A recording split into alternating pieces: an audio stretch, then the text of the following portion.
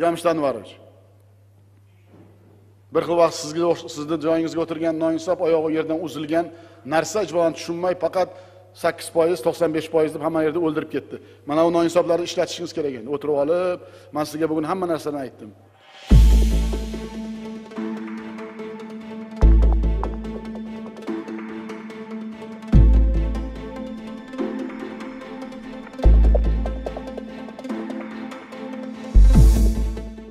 Mana shu iqtisodiy kompleksdan kelgan hamma noinsoflar qolib ishlashi kerak. Buni o'rgatish kerak. Markaziy bank kabinetda galstuk toqib o'tirayotgan kerak emas soliq manga g'o'ddayib mana forma kiyib yurayotgan kerak emas.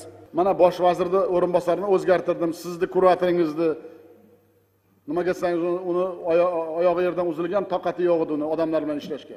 Faqat qog'oz bo'lsa oliyjanob gaplar bo'lsa zo'r edi. O'ldi iqtisod shuning uchun. Sakkiz foiz.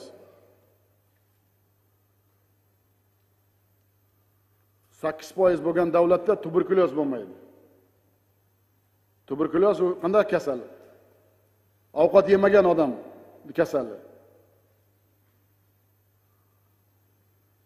Gapiring rishtonni birinchi movini qani qo'lingizdan nima keladi? Gapir gapir gapir vaqti yo'q. Ey muhtaram muhtaram prezident haqiqatdan ham e'tirozlar o'rinli. Biz mana shu subvensiyadan chiqish bo'yicha dasturlar ishlab chiqqanmiz. Hozirgi bergan topshiriqlaringizdan kelib chiqib dasturni qayta ko'rib chiqamiz va bu subvensiyadan chiqishni barcha choralarni ko'rib buni uddalaymiz. Qo'limdan keladi shavkat miromonovich oldin qaysi ishda ishlagansiz? Oldin bank moliya sistemasida ishlaganman. Nima bo'lib?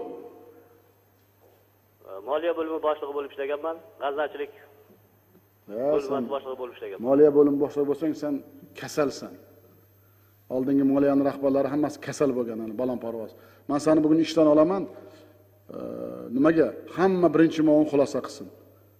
Man birontang bilan bunday ishlashga toqatim yo'q. U hozirgi gaping balandparvoz gap. San nimaga tayyorgarlik qilmagansan? Prezident bilan uchrashyapsanku san nimaga aniq aniq rejalaring yo'q? Umumiy ko'rib chiqamiz. Nima sanga bu? Detsatmi bu sanga? Bu davlat bu. Lekin shularning o'zi ham viloyatning iqtisodiyotining ahvoli qanchalik og'irlashganini ko'rsatib turibdi. Ushbu kamchiliklar uchun nafaqat mahalliy hokimliklar balki hududlarning rivojlantirish rejalashtirish bilan shug'ullanadigan iqtisodiy kompleks va markaziy iqtisodiy moliyaviy idoralar rahbarlari ham birday aybdor. Joylardagi haqiqiy ahvolning o'rganmasdan kabinetda chizilgan chiroyli raqamlar bilan hisobot berishga o'rgangan iqtisodiy kompleksning avvalgi rahbarlarini aynan shu kabi kamchiliklar uchun e, shuningdek ularning tuzatishga umuman intilmagani xulosa chiqarmagani uchun lavozimdan ozod etishga man majbur bo'ldim. Oyog'i yerdan uzilgani uchun. Ana shuni hamma bilish kerak. Hali bu bilan tugamaydi. Uni ham hamma bilishi kerak.